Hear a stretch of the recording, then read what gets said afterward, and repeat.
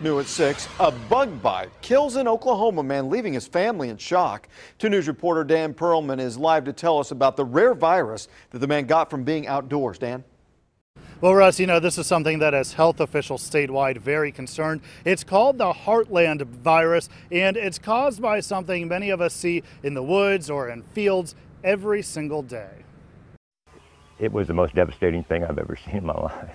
Johnny Mitzner he was uh, 76 years old. An Army veteran, father to three, grandfather to six. He owned a lawn service business with son Mark. Didn't want to retire because there was no need. Johnny was as healthy as could be, but it was so fast. This month, that changed. Just before Mother's Day, something wasn't right. Johnny lost his memory. He was tired. He had a hard time walking. He couldn't drive. So Mark took him to the hospital. Totally unbelievable. In a matter of days, this strong, happy man was paralyzed, unable to move, unable to speak. He was totally helpless. Two hospitals, and 13 days later, Johnny passed away.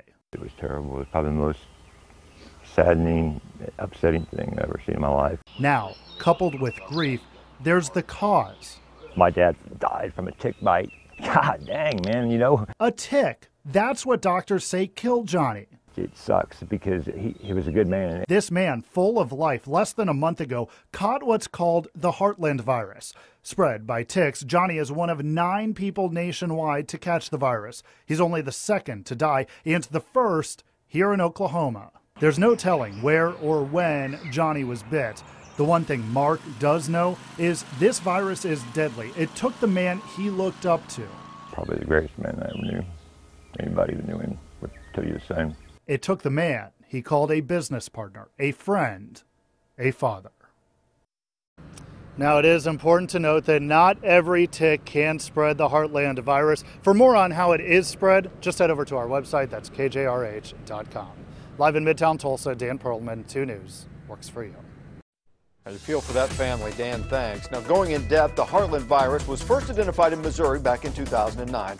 The virus is found in the Lone Star tick and is likely spread through tick bites. Virus symptoms include fever, fatigue, and diarrhea. There is no vaccine or drug to prevent or treat the disease.